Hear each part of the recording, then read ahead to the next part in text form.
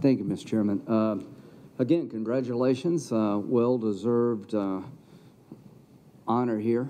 Uh, You have worked hard all your life, and um, you have much to be proud of. I have said in the past and I think it's good for the court to look like America, so count me in on the idea of making the court more diverse. And in the history of our country, we've never had an African-American woman serve on the court. But I also said that didn't get much coverage. I want, I want the, I want the court to play a particular role in America. One is make it more look like the country, but also make it operate in the confines of the Constitution. That didn't, didn't get a lot of coverage. Um, so the hearings are going to be challenging for you, informative for the public, and respectful by us. I hope we can meet that those criteria. Um, it won't be a circus. We're off to a good start. Uh, Chairman Grassley couldn't get the first word out of his mouth before they shut down the place, so that's off to a good start. Most of us couldn't go back to our offices during Kavanaugh without getting spit on. Hope that doesn't happen to y'all. I don't think it will. Uh, as to the historic nature of your appointment, I understand. But when I get lectured about this from my Democratic colleagues, I remember Janice Rogers Brown, an African American woman, that was filibustered by the same people praising you. I remember, remember Miguel Estrada, one of the finest people I ever met, completely wiped out. Didn't make it through the uh, uh, gang of uh, 14, whatever gang I was in. I've been in so many I can't remember. He, he didn't make the cut well-lived life just completely ruined. So if you're Hispanic or African American conservative, it's about your philosophy. Now it's going to be about the historic nature of the pick. It's going to be about your philosophy. The bottom line here is when it is about philosophy, when it's somebody of color on our side, it's about we're all racist if we ask hard questions. It's not going to fly with us. We're used to it by now, at least I am. So it's not going to matter a bit to any of us. We're going to ask you what we think you need to be asked. And Senator Hawley, you need to ask her about her record as a uh, district court judge. You should. I hope you do. And we'll see what she says. Very fair game.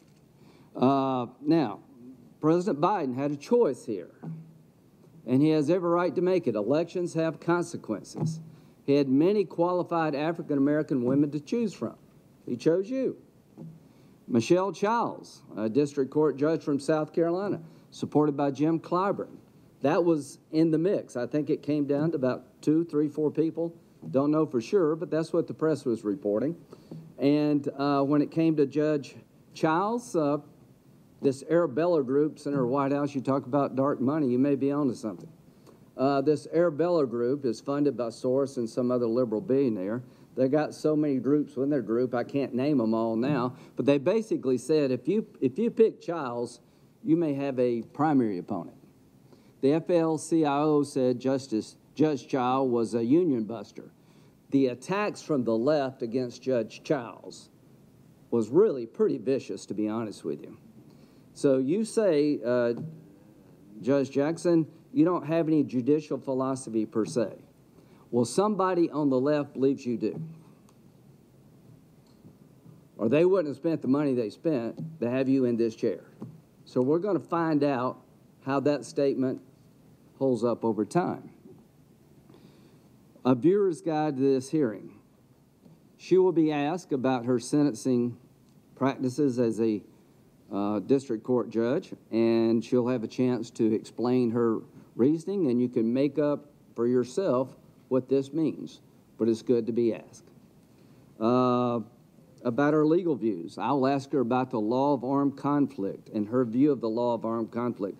The fact that you represent a Gitmo detainees is not a problem with me. Everybody deserves a lawyer. You're doing the country a great service when you defend the most unpopular people. But I do want to know about your amicus briefs after you're no longer a defense counsel weighing into the Supreme Court about how they decide law of war issues. That matters a lot to me. I think it does matter that the groups that came to your aid at the expense of Judge Childs, how, how did that happen and why were they doing what they were doing? What is it about your nomination that the most liberal people under um, umbrella of Ara- Arabella threw in their money, their time, their support, and threatened uh, Joe Biden if he picked uh, Judge Childs. I want to know more about that.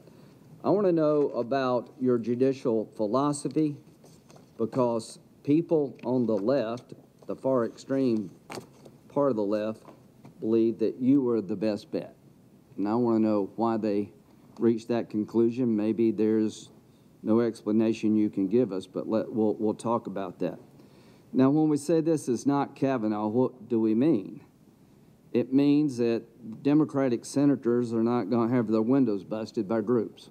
That's what it means. It means that no Republican senator is going to unleash on you an attack about your character when the hearing is virtually over. None of us, I hope, have been sitting on information about you as a person for weeks or months. You come into our offices and we never share it with you to allow you to give your side of the story. We wait to the very last minute when the hearing's about to be gavel concluded and say, oh, by the way, I've got this letter. And so happened that every media outlet in the country had the letter too. So the next morning there were headlines all over the country, really, accusing Judge Kavanaugh of being basically Bill Cosby. None of us are going to do that to you. And if any of us does that to you, all hell will break out. And it should. The media will uh, be your biggest cheerleader. They're in your camp. They have every right to pick who they want to pick. There won't be this constant attack on you like Judge Kavanaugh and other conservative judicial appointments. There won't be any questioning of where you go to church, what kind of groups you're in in church, how you decide to raise your kids, what you believe in, how you believe in God. Nobody's going to do that to you. And that's a good thing. So you're the beneficiary of a lot. You're the beneficiary of Republican nominees having their life turned upside down. And it didn't work. So I'm hoping that we can have a hearing that's respectful, that's informative, that's challenging. And President Biden has every right to pick who he'd like to pick. That comes with winning the White House. And I've been very inclined to support the picks of people that I would not have chosen. But this is a new game for the Supreme Court. And this game is particularly disturbing to me because there's been a wholesale effort of the left to take down a nominee from my state. And uh, I uh, don't like it very much. And if that's the way the game's going to be played, then I'll have a response, and I don't expect it to be reward that way of playing the game. Justice Child, Judge Childs would have gotten 60 plus votes. There had been people in my caucus that would have voted for her, even though we knew she would be a reliable liberal vote, because I and Senator Scott would have stepped up. Now we're picked, now we're facing a choice sponsored by the most radical elements of the Democratic Party when it comes to how to be a judge they have the most radical view of what a judge should do, and you were their choice. And you'll be asked, do you support expanding the Supreme Court? I hope you can give us an answer, because it shouldn't be hard. Either you do or you don't. Justice Ginsburg said no.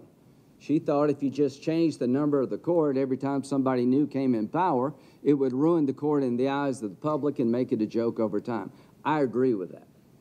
So I hope you can give us an answer to that question because I think the court would be better off if the judges stood up for the court. If the judges told politicians, don't play this game with the court because over time nobody wins. So, congratulations. It's going to be a couple interesting days, and we're off to a better start than we have been in the past. And the one thing I can promise you, you will not be vilified, you, won't, you will not be attacked for your religious views, you will not be accused of something that you could not defend yourself against until it was too late. Thank you.